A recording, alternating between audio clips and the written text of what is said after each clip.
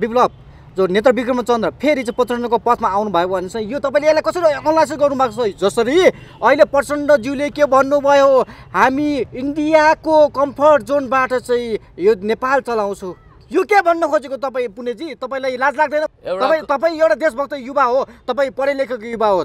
यो यसरी प्रचण्डज्यूले हामी कम् इन्डियाको चाहिँ कम्फर्ट जोनबाट नेपालमा चाहिँ सरकार चलाउँछु भन्दाखेरि तपाईँलाई अलिकति पनि हिन्ता बोध भएन पुण्यजी आत्मा साँची राखेर बोल्नुहोस्। हामी भारतीय विस्तारवादी अतिक्रमणको विरुद्धमा छौँ। त्यही तपाईँले देखिरहनु भएको छ त्यो घाट जहाँ सरिता गिरीलाई हामीले एउटा पुतला बनाएर सरिता गिरीको प्रतीकमा भारतीय विस्तारवाद विरुद्ध कालापानी लिपुले लिम्पियादुराको पक्षमा हामीले त्यहाँ एककालको कार्यक्रम पनि गरेका थियौँ त्यही घाट हो जहाँबाट हामीलाई गिरफ्तार गरिएको थियो म तपाईँलाई एउटा कुरा के भन्न चाहन्छु भने कमरेड विप्लव उहाँले अहिले जसरी महसुस गरेर आउनुभएको छ पुण्यजी अहिले जसरी माधव नेपाल र प्रसन्नले लड्डु खुवाएर चाहिँ एउटा प्रेम लाभको चाहिँ एउटा सङ्केत दिनुभएको थियो नि। जुन चाहिँ भाइरल भएको थियो र चर्चाको विषय पनि भएको थियो भने अहिले सामान्य प्रधानमन्त्री केपी ओली र विप्लवले जसरी हात समातेर चाहिँ अहिले जसरी आएको छ नि यो बिच दुईवटा विषयलाई तपाईँले कुन चाहिँलाई तपाईँले सही मानेमा लिनुभएको छ?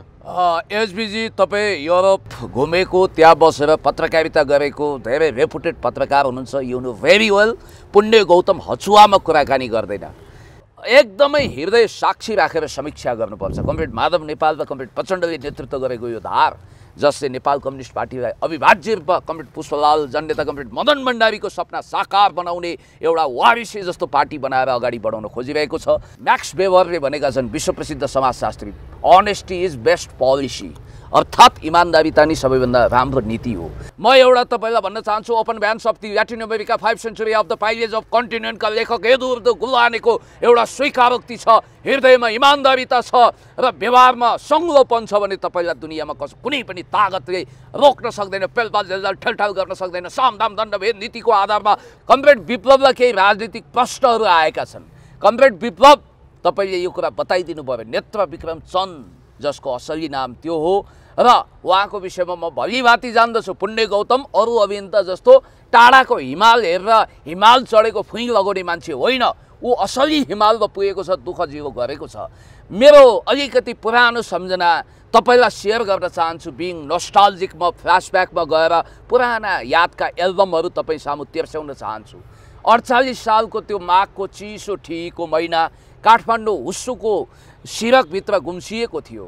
अथवा लुकलुक कामिरहेको थियो म पन्ध्र वर्षको एउटा जुङ्गाको रेखी पनि भर्खर बस्दै गरेको एउटा स्कुले ठिटो थिएँ र टेन क्लासमा पढ्थेँ सम्भवतः वार एन्ड पिस लेख्ने लियो टोल्स्टय भन्नुहुन्छ।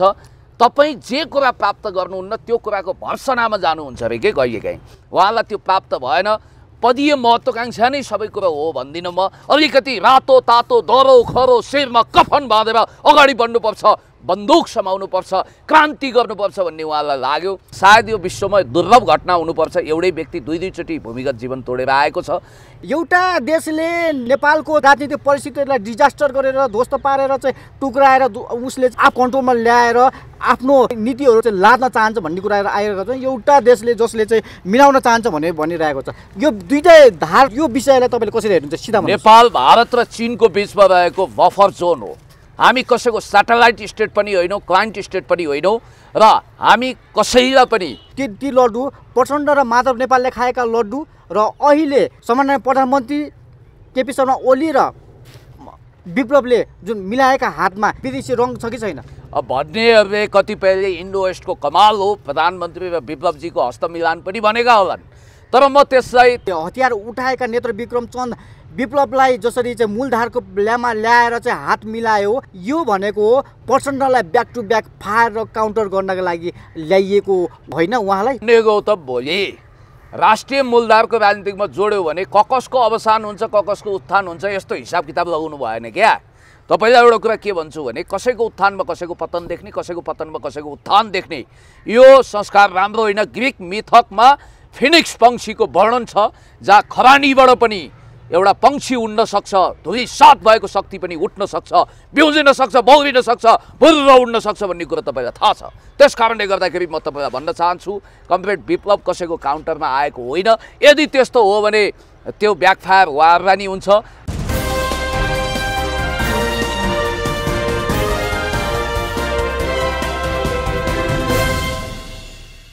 पुण्यजी अहिले नेकपाका नेत्र विक्रम चन्द विद्रोही हुनुहुन्थ्यो र अहिले आएर सामान्य प्रधानमन्त्री केपी ओली शर्मासँग हात मिलाएको अवस्था छ।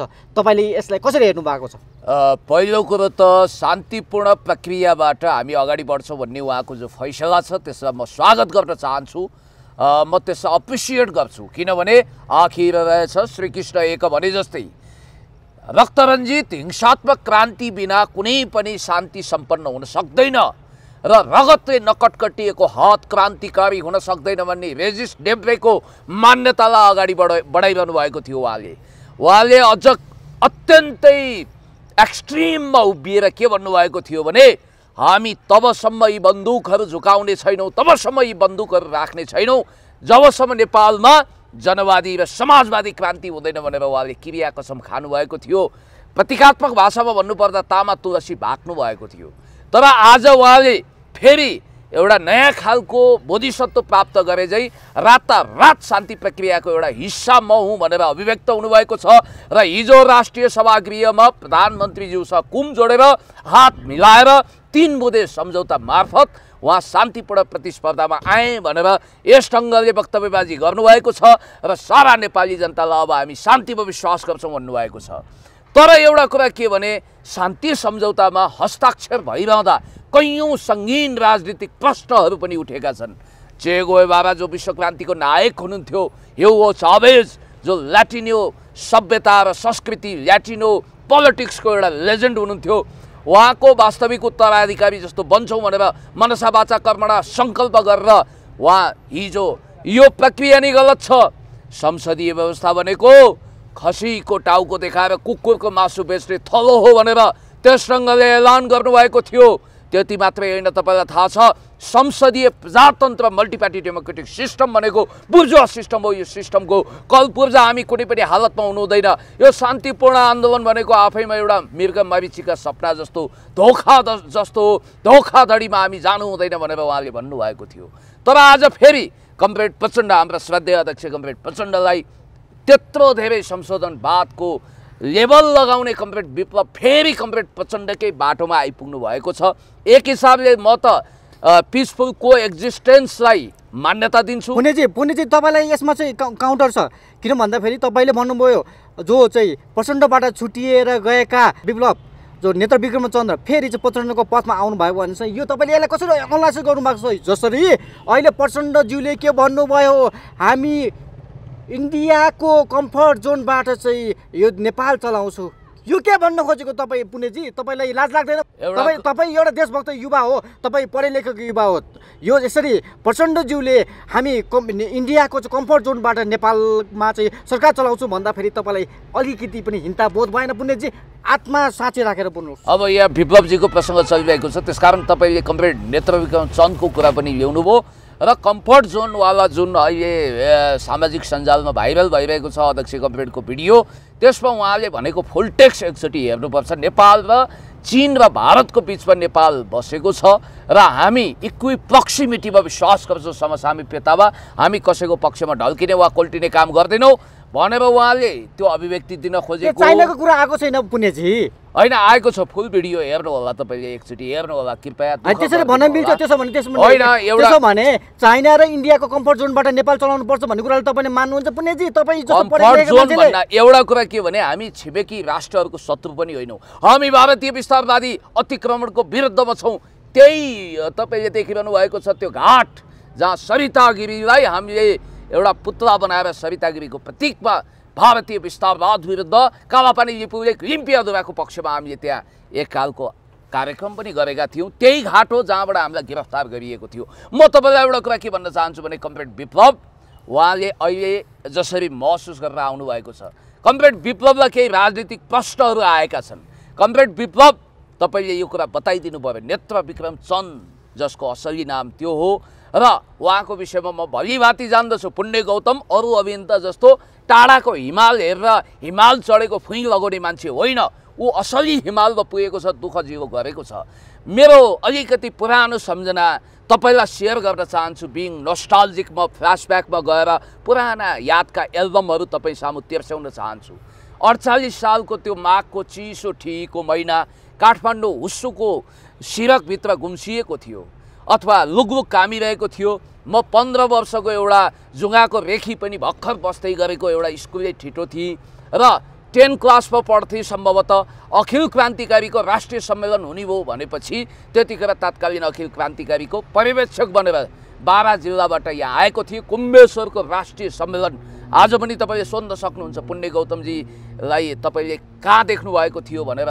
तपाईँले सोध्न सक्नुहुन्छ देवेन्द्र पौडेलजी त्यतिखेर महासचिव निर्वाचित हुनुभएको थियो हितमान साक्य अध्यक्ष निर्वाचित हुनुभएको थियो। र कमरेड विप्लव अडचालिस सालमा अनेरासोबीको केन्द्रीय सदस्य पनि हुनुहुन्थ्यो। मभन्दा दस वर्ष जेठो हुनुहुन्छ उमेरको हिसाबले चौबिस सालमा जन्मिनुभयो र उहाँ आइएलको सम्भवतः विद्यार्थी हुनुहुन्थ्यो। आइएल पढिरहनु भएको थियो। उहाँको एकाडेमिक क्वालिफिकेसन आइएल सर भए पनि ज्ञानको हिसाबले उहाँ धेरै राम्रो ज्ञान राख्नुहुन्छ। र त्यतिखेर कमरेड विप्लव जिल्ला अध्यक्ष पनि हुनुहुन्थ्यो ललितपुर जिल्लाको र उहाँले प्रस्तुत गरेको तर्कबाट धेरै मान्छेहरू सम्मोहित पनि भएका थिए विद्यार्थीहरू। र एउटा कुरा याद गर्नुहोला कि मैले तपाईँलाई भनिहालेँ म यदि पन्ध्र वर्षको थिएँ भने उहाँ स्वाभाविक रूपमा पच्चिस वर्षको हुनुहुन्थ्यो। अनि मैले त्यसपछि पनि जनयुद्धको प्रक्रियाभन्दा अगाडि पचास एकाउन्न बाहन्न सालमा पनि उहाँलाई भेटेको हुँ। जस्तो कि त्रिचन्द्र क्याम्पस मुनि हामी भेटिन्थ्यौँ। जनार्दन शर्मा प्रभाकर यति दुब्लो हुनुहुन्थ्यो कि भनिन्थ्यो उहाँले जिउमा कोट लगाउनु भएको छैन। ह्याङ्गरमा झुन्डाएको कोट जस्तो देखिएको थियो भनेर भनिन्थ्यो। खल्तीमा दुईतिर एक एक किलोको ढुङ्गा नआउने हो भने बङ नराख्ने हो भने बङ्गालको खाडीबाट आएको तुफानले उहाँलाई उडाउन सक्छ भनेर पनि मान्छेले रमाइलो ठट्टा गर्ने गर्थे। त्यतिखेर यान प्रसाद गौतम आलोक जो प्रखर वक्ता हुनुहुन्थ्यो सम्भवतः जननेता कमरेड मदन भण्डारीपछि सबैभन्दा सशक्त वक्ताको रूपमा उहाँको इन्ट्रोड्युसिङ नेपाली राजनीतिमा हुन पाएन। यो दुर्भाग्यको कुरा हो। र त्यतिखेर विप्लवको पनि प्रस्तुति मजाकै हुन्थ्यो।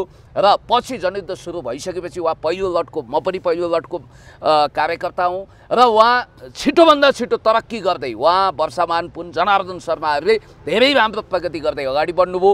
र त्यो मेसोमा उहाँ कम्युनिस्ट पार्टीको पोलिट ब्युरो सदस्य हुनुभयो तात्कालीन माओवादीको। शान्ति प्रक्रियापछि मैले क्रान्तिको प्रक्रियामा पनि भेटेको छु र शान्ति प्रक्रियापछि यही चाबेलमा बस्नुहुन्थ्यो। हामी जहाँ कुरा गरिरहेका छौँ यो पावन प- पाशवत क्षेत्र। योभन्दा झन्डै तिन सय मिटर उता उहाँ बस्नु चाबेल छि- आसपासमा उहाँ बस्नुहुन्थ्यो। कालो चिया र चनाले सधैँ स्वागत गर्नुहुन्थ्यो। घन्टौँसम्म बहस गरेका छौँ त्यतिखेर म तेत्तिस आन्दोलनमा थिएँ। मोहन वैद्यको पार्टीमा उहाँ हुनुहुन्थ्यो र उहाँ चरम महत्त्वकाङ्क्षी मान्छे पनि हो।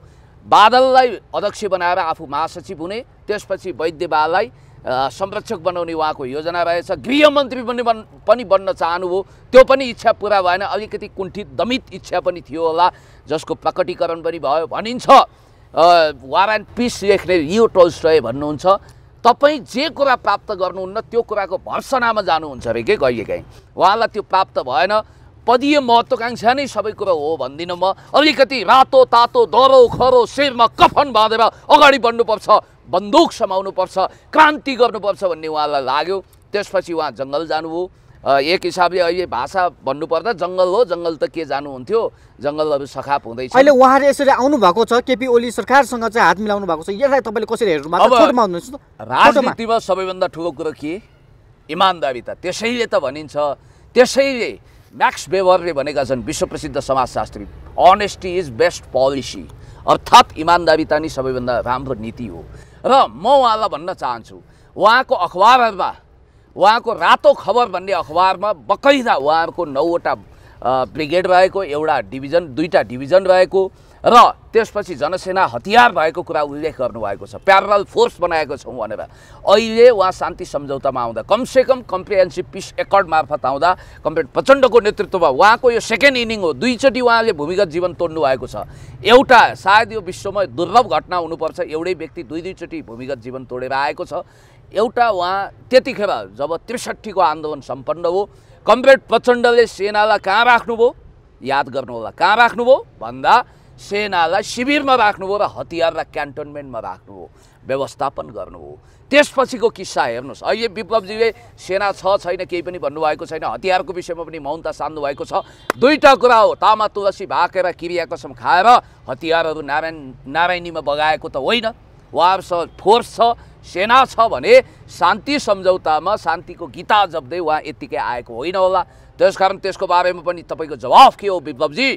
तपाईँहरू साँच्चै स्ट्राटेजिक ढङ्गले टु स्टेप ब्याकवार्डको नीति अन्तर्गत अथवा एक हिसाबले बहादुरी से पिछे हटो नीति अन्तर्गत शक्ति सञ्चय गर्न आएको मानिसहरूलाई शङ्का छ। स्ट्राटेजिक गेम प्लान हो। आफ्ना हजारौँ कार्यकर्ताहरू जेलबाट छुटाउनु छ। राज्यसँग लड्न अहिले सक- सकिँदैन। हक्वा गरेर जाँदा सिङ्जुरा फुक्लेला। भन्ने त्रास चाहिँ पनि उहाँहरू शान्ति सम्झौतामा आउनुभएको हो र मलाई जहाँसम्म लाग्छ अहिले जुन पछिल्लो पोलिटिकल माहौल देख्नुभएको छ प्रधानमन्त्रीज्यू घरले जा जा वनवे आइजा आइजाको स्थितिमा डाँडामाथिको जुन जस्तो हुनुभएको छ दो दिनका मेहमान जस्तो हुनुभएको छ र तर पनि म के भन्न चाहन्छु भने प्रधानमन्त्रीज्यूले हिजो सिके राउतदेखि आज विप्लवसम्मलाई वार्तामा ल्याउनुलाई हामीले सकारात्मक रूपमा लिएका छौँ। म एउटा तपाईँलाई भन्न चाहन्छु open of the Latin America five century of the pillage of कन्टिनेन्टका लेखक हेदुर्द गुल्लानेको एउटा स्वीकारोक्ति छ हृदयमा इमान्दारिता छ र व्यवहारमा सङ्लोपन छ भने तपाईँलाई दुनियाँमा कस कुनै पनि तागतले रोक्न सक्दैन पेलपाल जेलजाल ठेलठाल गर्न सक्दैन सामदाम दण्डभेद नीतिको आधारमा तपाईँलाई समाप्त पार्न सकिँदैन। कम्प्लिट विप्लव म तपाईँलाई भन्न चाहन्छु तपाईँ हामीले तेत्तिस दलीय आन्दोलन भनेर त्यतिखेर कैयौँ ठाउँमा सँगै भाषण गरेका थियौँ। मैले तपाईँसँग नौ नौचोटि मञ्च सेयर गरेको तपाईँलाई सम्झना होला जनयुद्ध कालदेखि पछिसम्म। खुल्ला मञ्चको त्यो विशाल सभामा हामी बोलेका थियौँ। अमेरिकी पूर्व राष्ट्रपति एवं नोबल पुरस्कार विजेता जिम्मी कार्टरलाई पनि हामीले भेटेका थियौँ। त्यतिखेर जिम्मी कार्टरले तपाईँहरू कुनै पनि हालतमा चुनाव बहिष्कार नगर्नुहोला। डेमोक्रेसी मल्टिपार्टी डेमोक्रेटिक सिस्टमलाई हर्डल नगर्नुहोस् भनेर उहाँले अनुरोध गरेको दिनहरू आज पनि मैले सम्झिन्छु। र कमरेड विप्लव खुद मलाई पनि मन पराउनुहुन्छ। उहाँले मलाई आफ्नो पार्टीमा आइदिनको लागि धेरै भन्नुभएको पनि थियो। तत्कालीन मणि थापाजी अहिले मन्त्री हुनुहुन्छ। उहाँको पार्टीको सेकेन्ड इन कमान्ड थिएँ म। त्यतिखेर पार्टी एकता गर्ने कि भनेर नेगोसिएसन हुँदा त्यो बातचितमा म पनि गएको थिएँ र मेरो बुझाइमा के हो भने विप्लवजी एउटा अत्यन्तै महत्त्वकाङ्क्षी र चतुर खेलाडी हो। र उहाँ अब अहिले एउटा अर्को किसिमको मलाई थाहा छैन उहाँहरू धेरै बाठो हुनुभयो कि अथवा प्याम्पर्ड चाइल्डहुडनेस देखाइरहनु भएको छ कि जस्तो उहाँहरूले रेफरेन्डमको कुरा गर्नुभएको छ ख्याल राख्नु होला रेफरेन्डम इट मिन्स जनमत सङ्ग्रह अनि एजेन्डा के हो भने संसदीय पुँजीवाद कि वैज्ञानिक समाजवाद याद गर्नुहोला। दुनियाँमा सबै खाले दक्षिणपन्थी प्रतिक्रियावादी देश विदेशी प्रतिक्रियावादीहरूले देशमा समाजवादलाई परास्त गर्नको निम्ति कुनै कसर बाँकी राख्ने छैनन्। युरो डलर भारतको बलमा पनि समाजवादलाई परास्त गर्नको निम्ति ठुलो मोर्चा बन्नेछ। देश लडाइँको मोर्चामा जान सक्छ। त्यस कारणले गर्दाखेरि औपचारिक रूपमा पुँजीवादलाई विजय गराउने जुन खालको त्यसलाई लेजिटिमाइज गराउने दृष्टता छ त्यतातिर विप्लवजी जानुहुन्न मलाई आशा भरोसा विश्वास छ। तर अहिले जनमतको कुरा आइरहेको छ। अर्को कुरा के पनि हो भने कमरेड विप्लवले परिस्थिति बुझ्नुहुनेछ। अब हेर्नुहोस् है दुईवटा कुरा। एउटा कमरेड प्रचण्डकै त्यो स्लोगान हामी जबसम्म समाजवाद हासिल गर्दैनौँ तबसम्म हतियार बिसाउँदैनौँ भन्नुभएको छ। तर हतियार त बिसाउनु भयो। त्यसको पोलिटिकल र नैतिक जवाफ पनि उहाँले दिनुपर्छ। शेरमा कफन बाँधेका लाल सेनाहरूलाई के जवाफ दिनुहुनेछ? अनि शान्ति प्रक्रियामा आउँदाखेरि यहाँ हतियार बन्द आन्दोलन पनि गर्न पाइएन। वैद्यको पार्टीसँग अरू पार्टीसँग मोर्चाबन्दी गरेर जानुपर्ने उहाँको अवस्था छ। हुन त यहाँ अजासु अति जान्ने सुन्ने कच्चा ज्ञानका पण्डितहरूले होइन अब नेक नेपाल कम्युनिस्ट पार्टी अर्को धारसँग एकता गर्ने रे आदि इत्यादि पनि भनिरहेका छन्। तत्काल मैले त्यस्तो सम्भावना देखिनँ। राजनीतिमा हरेक कुरो पोसिबल हुन्छ। Everything is possible in war and love भन्छ। पोलिटिक्स पनि हो। त्यस कारणले गर्दाखेरि यी कुराहरू हेर्दै जाउँ। लेट्स सी बाँकी प्रश्नहरू पत्रकार महोदयले गर्न सक्नुहुन्छ। पुण्यजी अहिले जसरी माधव नेपाल र प्रचण्डले लड्डु खुवाएर चाहिँ एउटा प्रेम लाभको चाहिँ एउटा सङ्केत दिनुभएको थियो नि। जुन चाहिँ भाइरल भएको थियो र चर्चाको विषय पनि भएको थियो भने अहिले सामान्य प्रधानमन्त्री केपी ओली र विप्लवले जसरी हात समातेर चाहिँ अहिले जसरी आएको छ नि यो बिच दुईवटा विषयलाई तपाईँले चाहिँ कुन चाहिँलाई तपाईँले चाहिँ सही मानेमा लिनुभएको छ? एसबिजी तपाईँ युरोप घुमेको त्यहाँ बसेर पत्रकारिता गरेको धेरै रेपुटेड पत्रकार हुनुहुन्छ यु नो भेरी वेल पुण्य गौतम हचुवामा कुराकानी गर्दैन। म तपाईँलाई के भन्न चाहन्छु भने MA in political science with first division and पिएचडीको हैसियतले मैले स्पष्ट रूपमा तपाईँलाई भन्नुपर्छ। एउटा पिएचडी लेभलको एउटा राजनीति शास्त्रीको हिसाबले मैले इन्टरप्रिटेसन गर्नुपर्छ। दुधको दुध पानीको पानी छुट्याउनुपर्छ। म मूलधारको नेपाल कम्युनिस्ट पार्टीको केन्द्रीय लेभलको नेताको हैसियतले मात्रै होइन। यहाँलाई म स्पष्ट रूपमा के निवेदन गर्न चाहन्छु भने जब हामीले एकदमै हृदय साक्षी राखेर समीक्षा गर्नुपर्छ। कमरेड माधव नेपाल र कमरेड प्रचण्डले नेतृत्व गरेको यो धार जसले नेपाल कम्युनिस्ट पार्टीलाई अविभाज्य रूपमा कमरेड पुष्पलाल जन्नेता कमरेड मदन भण्डारीको सपना साकार बनाउने एउटा वारिसे जस्तो पार्टी बनाएर अगाडि बढाउन खोजिरहेको छ। त्यस कारणले गर्दाखेरि कमरेड विप्लवलाई पनि अब हामीले दायाँमाया जान दिनु हुँदैन उहाँलाई पनि शान्तिपूर्ण प्रतिस्पर्धाद्वारा ब्यालेट बक्सबाट समाजवादको अभ्यास गर्न सकिन्छ भन्ने मान्यतामा सहमत गराउनुपर्छ। होला शक्ति सञ्चय गर्ने अनि त्यसपछि मैले तपाईँले अहिले भन्नुभयो अहिले ब्यालेट बक्सको चाहिँ तपाईँले जुन चाहिँ रेस्पेक्ट गर्नुभयो कि सामान्य प्रधानमन्त्रीले भन्नुभएको छ कि ब्यालेट बक्सबाट अब चाहिँ जानुपर्छ भनेर चाहिँ भनिरहेको अवस्था पनि हो र माधव नेपाल र अँ, प्रचण्डले चाहिँ होइन हामी ब्यालेटबाट बक्समा जान्नु भनेर भनिरहेको अवस्था पनि हो। तपाईँ मान्नुहुन्छ नि यो कुरा? होइन ब्यालेट पक्षमा जाने अवधि हुन्छ। तपाईँलाई एउटा पाँच वर्षपछि भन्नुभएको। ए बाबा तपाईँलाई अहिले दिउँसो छ सुत्नु त भएन नि। राति भएपछि सुत्ने हो।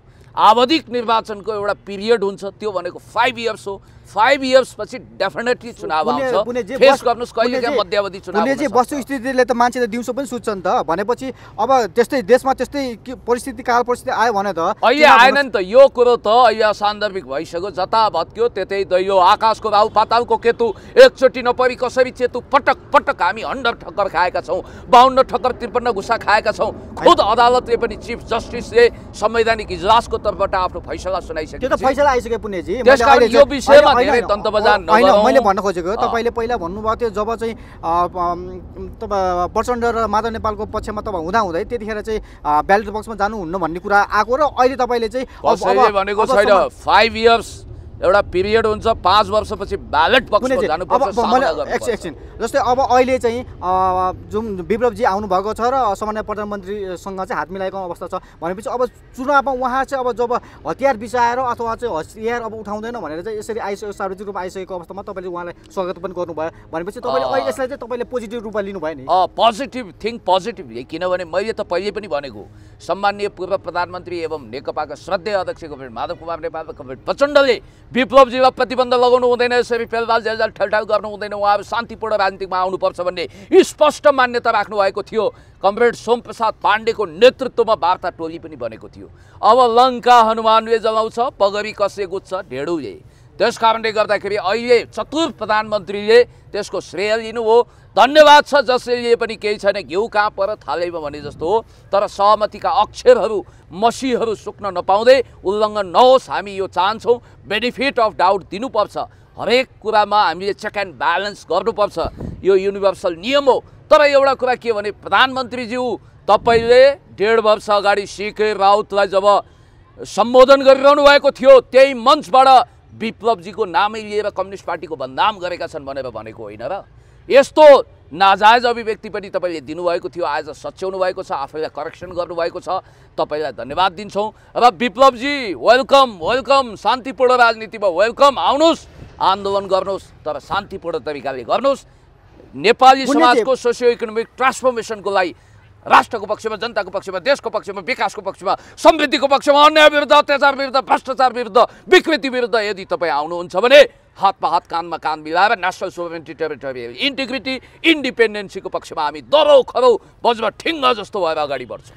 पुण्यजी तपाईँले भन्नुभयो अहिले चाहिँ जस्तै नेत्र विक्रम चन्द्र जसरी आउनुभयो तपाईँले वेलकम पनि भन्नुभयो। होइन नेत्र विक्रम चन्दलाई तपाईँले अहिले वेलकम गर्दा गर्दै तपाईँका नेता माधव कुमार नेपाल र प्रचण्ड चाहिँ रिसायो भने तपाईँलाई अ, के अरे अप्ठ्यारो पर्दैन? होइन कहाँ रिसाउनुहुन्छ उहाँहरूले पनि वेलकम गरिसक्नु भएको छ। वेलकम गर्नुभएको छ?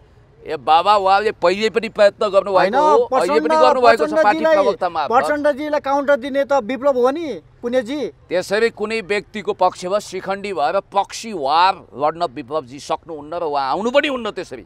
याद गर्नुहोला उहाँ कसैको हतियार होइन। त्यसकारण तपाईँले ख्याल गर्नुहोस् विप्लवजीको अगाडि वान एन्ड वान्ली अल्टरनेटिभ के हो भने यो सिस्टममा आएर आफ्ना स्पष्ट एजेन्डा राखेर प्रतिस्पर्धाको माध्यमद्वारा श्रेष्ठता हासिल गर्दै समाजवादको दिशातर्फ अगाडि बढ्ने। पुण्यजी जसरी लड्डुको विषयलाई फेरि ल्याएँ लड्डुको जसरी जसरी प्रेमालाप गरेर लड्डु खुला खुलाइयो अनि त्यसपछि अहिले सामान्य प्रधानमन्त्री केपी शर्मा ओली र विप्लवले जसरी चाहिँ अहिले हुन्छ नि हाँसो मात्र अहिले जनता सामु आएको छ। यो दुइटै विषयलाई जोडेर अहिले जसरी वान टु वान ब्याकफायर गर्नलाई वान टु वान त्यसलाई काउन्टर दिनका लागि चाहिँ अहिले जनताहरूले भनिरहेका छन् एउटा विशेषज्ञहरूले भनिरहेका छन् प्रचण्डलाई ब्याक टु ब्याक के अरे फायर गर्नको लागि काउन्टर दिनको लागि चाहिँ विप्लवलाई उतारेको भनेर चाहिँ अहिले एनालाइसिस गरिरहेको छ। कतिले हाइपोथेसिस गरेर अब त्यो लड्डु भनेको सुगर कोटेड पनि होइन त्यो विष लड्डु पनि होइन। एउटा कुरा तपाईँलाई म स्मरण दिलाउँछु। यो नेपाल। हो। म तपाईँलाई भन्न चाहन्छु यहाँ धेरै ठुला क्रान्तिकारिताको बहादुरी नगरे पनि हुन्छ। किनभने नेपाल धेरै ठुलो रसिया जस्तो ठुलो देश होइन। र काठमाडौँ खाल्डो त सानो छ। रनमन डुले पनि थलो किलोमै आउनुपर्छ। आखिर रहेछ श्रीकृष्ण एक भने जस्तै शान्तिपूर्ण आन्दोलनको स्वीकारोक्ति नै सबैभन्दा ठुलो कुरा हो। जनता ब्लड सेड चाहँदैनन् हिंसा चाहँदैनन् रक्त रञ्जित परिवेशबाट गुज्रिन जनता चाहँदैनन्। समाजको शान्तिपूर्ण रूपान्तरण होस् जनताको चाहना त्यो। म एउटा पिएचडी लेभलको मानिस पनि हुँ। त्यसकारण मैले गर्ने हरेक एनालाइसिस भनेको तथ्यमा आधारित हुन्छ। फ्याक्ट फाइन्डिङ गरेर म तपाईँलाई गर्छु। र अर्को कुरा के भने विप्लवजी आउँदैमा कसैको भाग खोसिने वा कोही आउँदैमा कोही हतप्रभ आतङ्कित हुने यो जरुरी छैन. जनता गभर्मेन्ट मदन भण्डारीले भन्नुहुन्थ्यो प्रतिस्पर्धाभन्दा ठुलो राजनीति केही पनि छैन.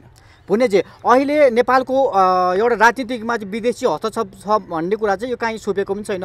एउटा देशले नेपालको राजनीतिक परिस्थितिलाई डिजास्टर गरेर ध्वस्त पारेर चाहिँ टुक्राएर उसले आफ कन्ट्रोलमा ल्याएर आफ्नो नीतिहरू चाहिँ लाद्न चाहन्छ भन्ने कुराहरू आइरहेको छ। एउटा देशले जसले चाहिँ मिलाउन चाहन्छ भन्ने भनिरहेको छ। यो दुइटै धार यो विषयलाई तपाईँले कसरी हेर्नुहुन्छ? सिधा। नेपाल भारत र चिनको बिचमा रहेको बफर जोन हो।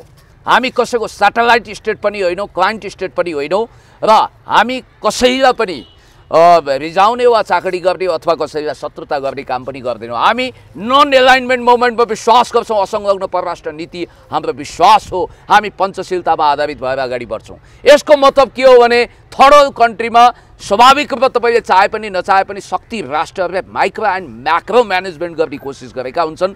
यो विषयमा छुट्टै सिरिज गरौँला। जोगीहरूको अखडामा बसेर कहिले नटुङ्गिने गरी वेदान्ती बस चलाउनुको अर्थ पनि छैन।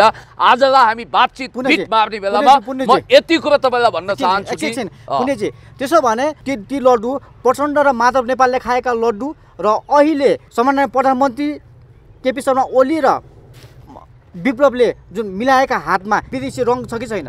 अब भन्नेहरूले कतिपयले इन्डो वेस्टको कमाल हो प्रधानमन्त्री र विप्लवजीको हस्तमिलान पनि भनेका होलान्। तर म त्यसलाई त्यसरी शङ्काको आधार दिन चाहन्न। एउटा कुरा के भने लड्डुको विषयमा हामीले टेन्सन लिनुपर्ने जरुरी छैन। त्यो एउटा स्वाभाविक सनातन प्रक्रिया थियो कि सर्वोच्च अदालतले संसदको पुनर्बहाली संसद पुनर्स्थापना गरिसकेपछि खुसियाली सेयर गरेको हो। त्यसलाई अन्यथा लिनु हुँदैन। ल ठिक छ तपाईँलाई धन्यवाद। अब अन्तमा छौँ हामी। अब यस्तो हो त्यसो त हेमन्त प्रकाश ओली पनि छुटेका छैनन् नि त। उनी झन् लेजेन्ड हुन् त्यहाँभित्रको एक हिसाबले भन्नुपर्दा स्ट्यान्डिङ कमिटी मेम्बर हुनुहुन्छ। त्यस कारणले गर्दाखेरि यो कानुनको नौसिङ पहिलाउँदै एकैचोटि छोड्नु भएन। अर्थात् त्यहाँ कानुनी फाइलहरू मिलाउनु पर्ने हुन्छ। आज छोड्ने भोलि फेरि एरेस्ट गर्ने प्रक्रिया हुनसक्छ राज्य त अनौठो हुन्छ। त्यस कारणले गर्दाखेरि अदालती मिसिलहरू मिलाउन बाँकी होला यसमा हामीले धेरै खुनखुत्रो गर्नु पर्दैन। अहिलेको सम्झौता अनुसार उहाँहरू छुट्नुहुन्छ। तर हिंसात्मक क्रियाकलाप हो भने चाहिँ राज्य जरुर आफ्नो रुल्स एन्ड रेगुलेसन फलो गरेर शान्ति सुरक्षाको व्यवस्थापनमा लाग्छ। हस् त पुण्यजी यहाँले खबर नेपाल टिभीलाई राज्यको तर्फबाट पनि दमन हुनु हुँदैन म यो कुरा स्पष्ट पुण्यजी फेरि तपाईँले यति भन्दै गर्दा जोडिहालेँ। अहिले भनेपछि तपाईँले यति भन्दै हुनुहुन्छ कि अहिले सामान्य प्रधानमन्त्रीले जो जङ्गलमा पसेका अथवा चाहिँ हति- हतियार उठाएका नेत्र विक्रम चन्द विप्लवलाई जसरी चाहिँ मूलधारको ल्यामा ल्याएर चाहिँ हात मिलायो यो भनेको प्रचण्डलाई ब्याक टु ब्याक फायर र काउन्टर गर्नको लागि ल्याइएको होइन उहाँलाई? गौतम भोलि। राष्ट्रिय मूलधारको राजनीतिमा जोड्यो भने ककसको अवसान हुन्छ ककसको उत्थान हुन्छ यस्तो हिसाब किताब लगाउनु भएन क्या? तपाईँलाई एउटा कुरा के भन्छु भने कसैको उत्थानमा कसैको पतन देख्ने कसैको पतनमा कसैको उत्थान देख्ने यो संस्कार राम्रो होइन। ग्रिक मिथकमा फिनिक्स पङ्क्षीको वर्णन छ जहाँ खरानीबाट पनि एउटा पङ्क्षी उड्न सक्छ धुली साथ भएको शक्ति पनि उठ्न सक्छ बिउजिन सक्छ बौरिन सक्छ बुर्र उड्न सक्छ भन्ने कुरा तपाईँलाई थाहा छ। त्यस कारणले गर्दाखेरि म तपाईँलाई भन्न चाहन्छु कम्प्लिट विप्लव कसैको काउन्टरमा आएको होइन। यदि त्यस्तो हो भने त्यो ब्याकफायर वारवानी हुन्छ। यति भनिसकेपछि फेरि पनि हामी बातचितमा जोडिनेछौँ। अहिले तपाईँलाई धन्यवाद दिन्छु सुन्नेला सुनको माला भन्नेला फुलको माला यो भिडियो युट्युबमा सर्च गर्न साथ आइजाला ट्रेन्डिङको सलामी पनि खाइजाला। हस् एसबिजी र तपाईँको खबर नेपाल टेलिभिजनप्रति हार्दिक आभारी छु। धन्यवाद नमस्कार। हस् त पुण्यजी यहाँले अत्यन्त व्यस्तताको बावजुद पनि खबर नेपाल टिभीलाई समय दिनुभयो। यहाँलाई धेरै धेरै धन्यवाद। Thank you so much I would like to express my gratitude for you thank. You okay thank you very much okay